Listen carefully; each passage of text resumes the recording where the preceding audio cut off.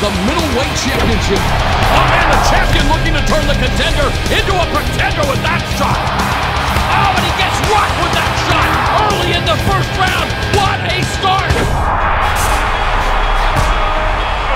Oh, and he is just taking it to him.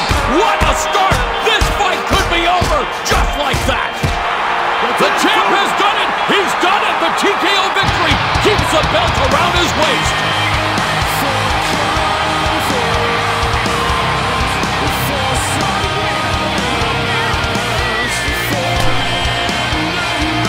Is there any difficulty in staying motivated?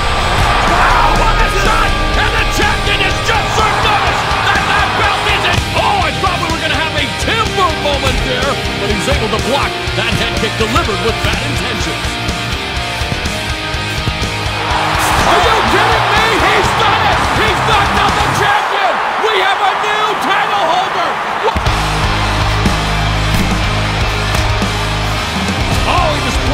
The